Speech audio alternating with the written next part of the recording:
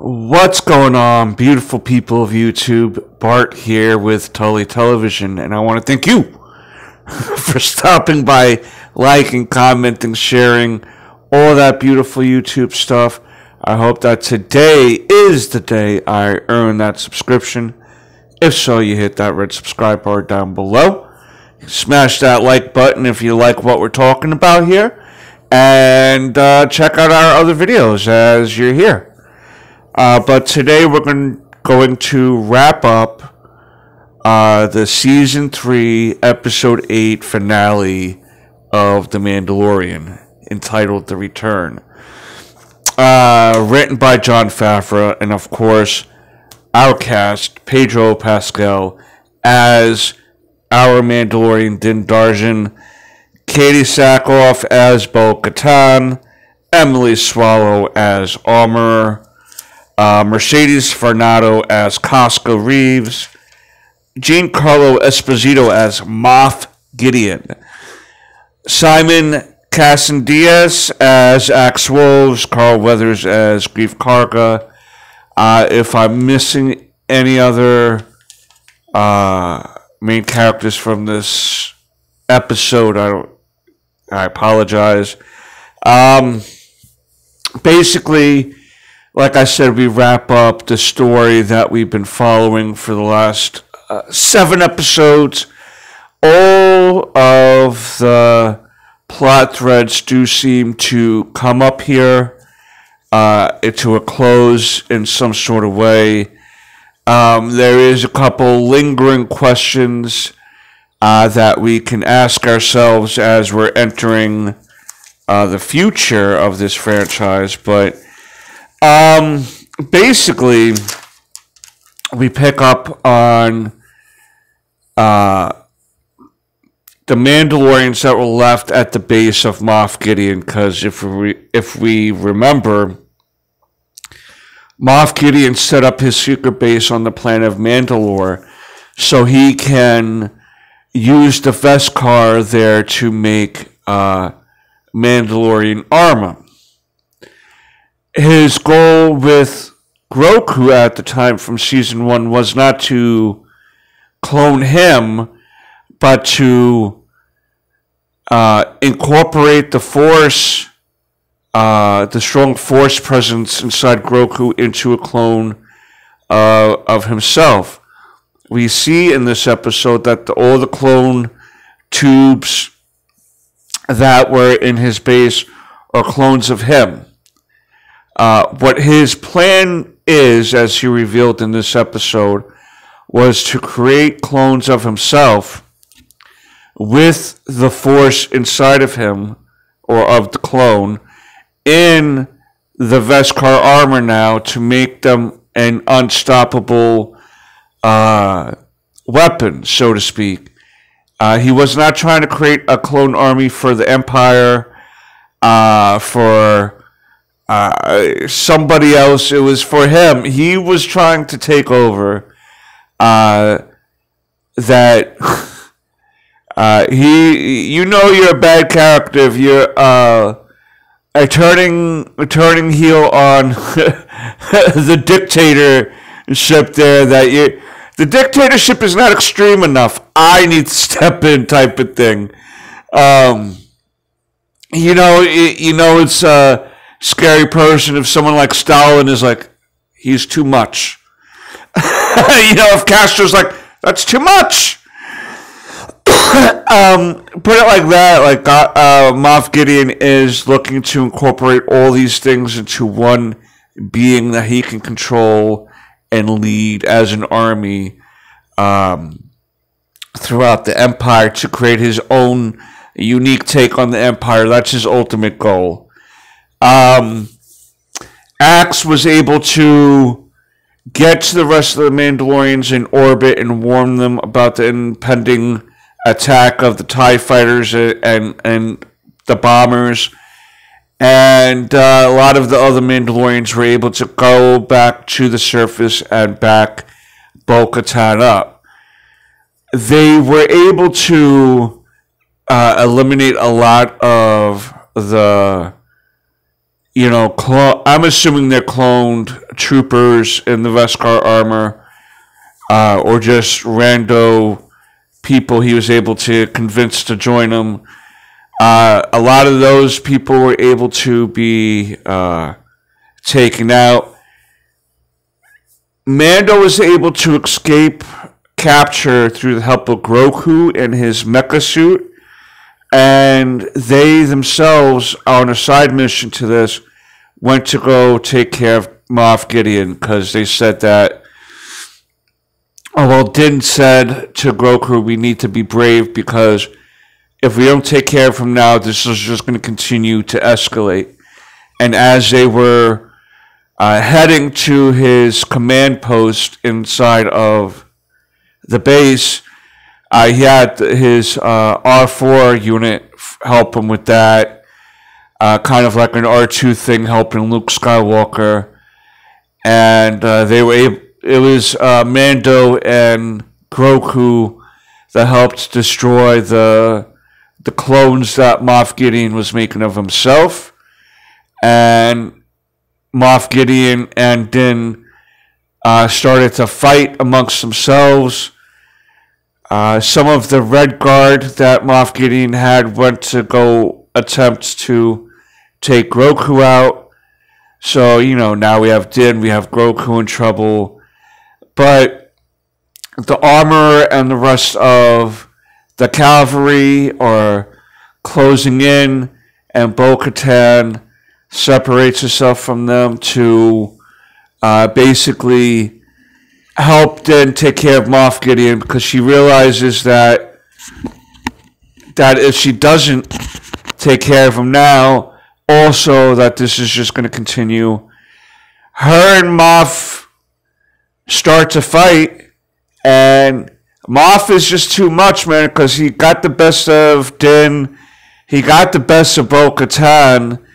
So much so that when she went to go strike him with the dark saber, he crushed her hand and the dark saber. The dark saber is destroyed now. Uh, so that's one of the main significant uh, portions of this episode. Is now the dark saber is destroyed beyond, I guess, repair, and uh, is no longer going to be able to be used by anybody uh, so I guess the Mandalorians are going to have to figure out uh, some other uh, way to uh, another weapon or another thing. If you really want to associate a weapon with the leader, that's if you want to, or you can just be like, all right, well, it's destroyed, and uh, a weapon doesn't necessarily make a leader, but. Uh, the Mandalorians seem to be a bunch of superstitious uh, followers to their faith, so there might be a, a, creation of a new saber in the future. We'll see, but at, at this time of Star Wars history, um, at the time of this recording, the dark saber is destroyed. They're about to. Din winds up saving Grogu from the Red Guard as Bo and Moff are fighting, uh, but then Moff, Grogu, and Din all join forces together again to face off against Moff Gideon. And ultimately, um, as they were fighting, Axe was coming down with the mothership, uh, which was now beyond repair and was going to blow up. He was going to drive that into the base. And so he's warning everyone before coming down, like, get out of there, get out of there. I'm coming, coming in. I'm going to crash, but I'm going to try to crash into this base, all right, to destroy everything. And so all the Mandalorians are scattering. uh, Bo Katan and uh, Din are just probably like, if we got to go, we got to go, but we got to make sure that these guys go to, uh, that he goes to. But Moff Gideon winds up getting engulfed in flames disintegrating, getting atomized. He's gone. He's done. No more Moff Gideon.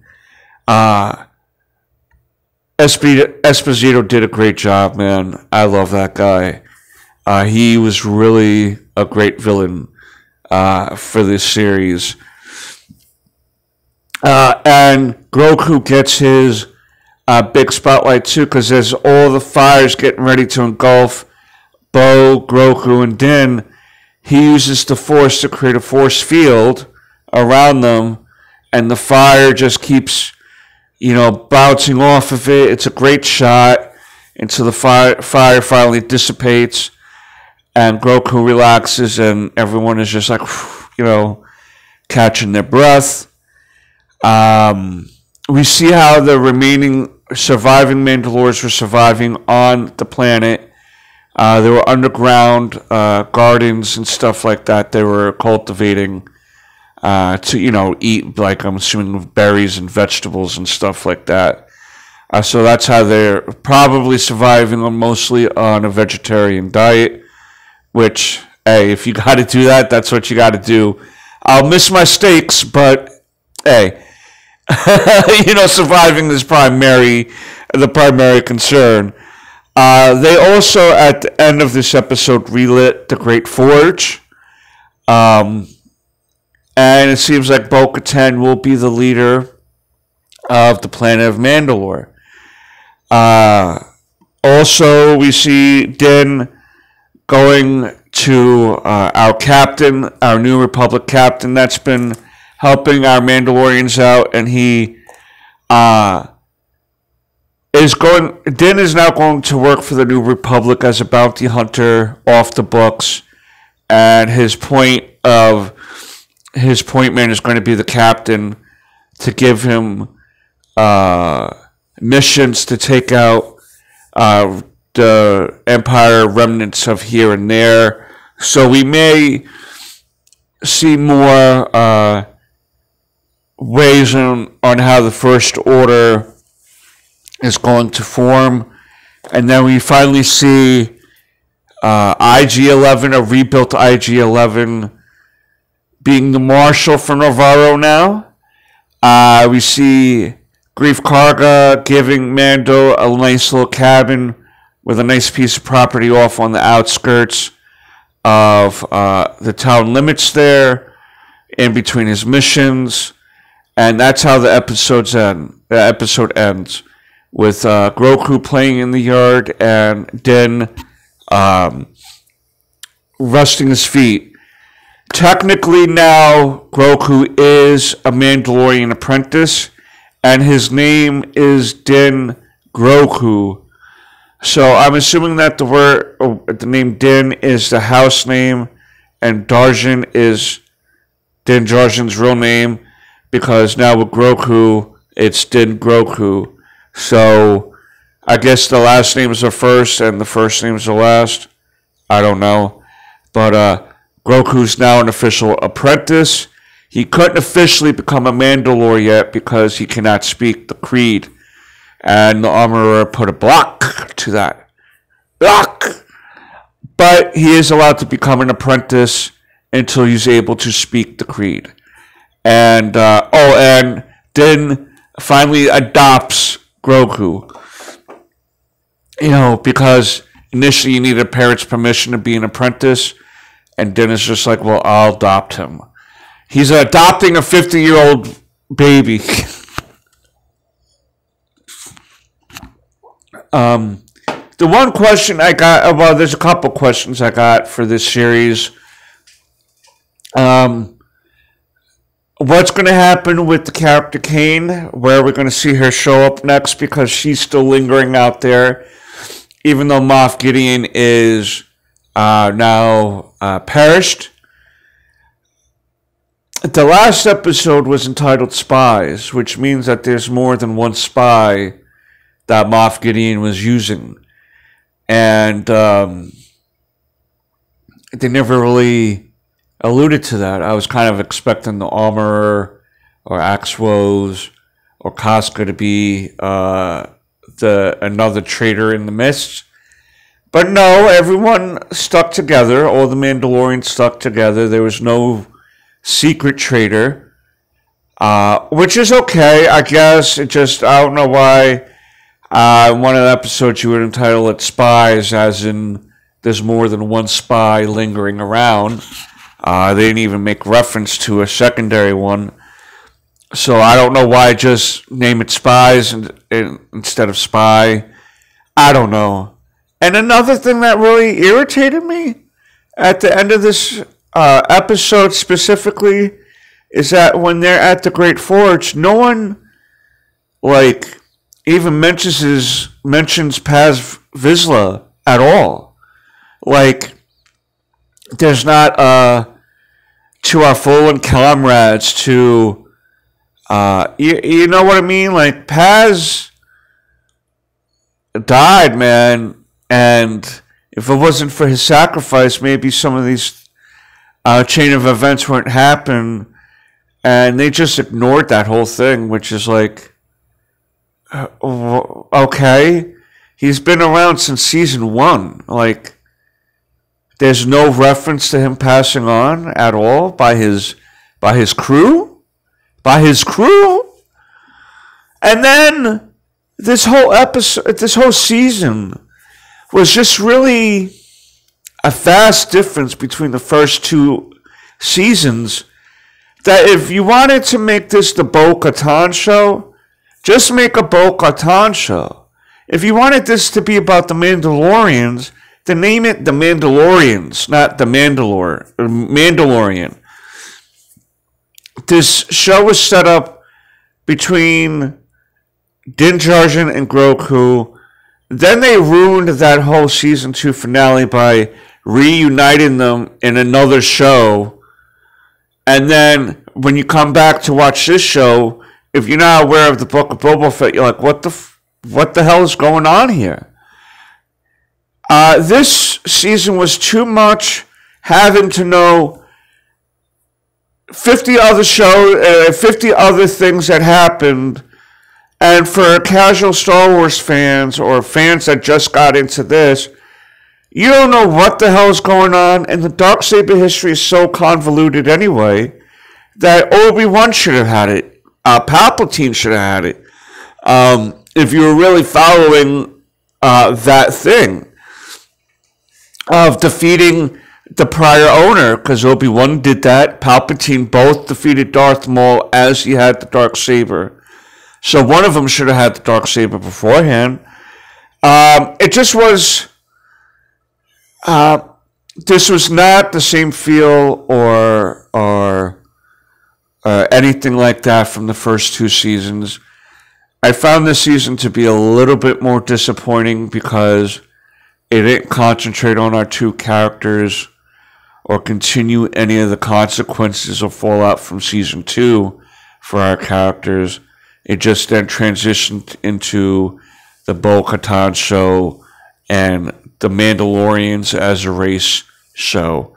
And that's okay. I'm not saying that we can't have a show like that, but you took a lot of good faith of people who stuck around for the first two seasons of this show and you just kind of dumped it down the tubes, in my opinion, by introducing a backdoor series into this series that wasn't about that initially. Um, if you were to take this series and just make a different series, I think a lot of fans would be fine with it. But with the fact that you replaced basically this whole season of The Mandalorian uh, with the whole race of Mandalorians, uh, really sucked a lot of people out of the momentum that this series had. Uh, Kathleen Kennedy definitely made sure that Jon Favreau's progress- progression was killed off uh, by the end of season two, and this was very much a Kathleen Kennedy season three interference. Um, and I'm kind of getting tired of Star Wars and their shenanigans. I think Kathleen Kennedy has done a lot of damage to this uh, property, and uh, that's just my opinion on it. I'm not sure if they're going to do season four of this or not, but uh, I'm almost hoping that they don't now because of how I feel about season three. Again, visually it looks good, well acted, but that that that bait and switch that a lot of fans feel that they did this season uh, sucked a lot of momentum out.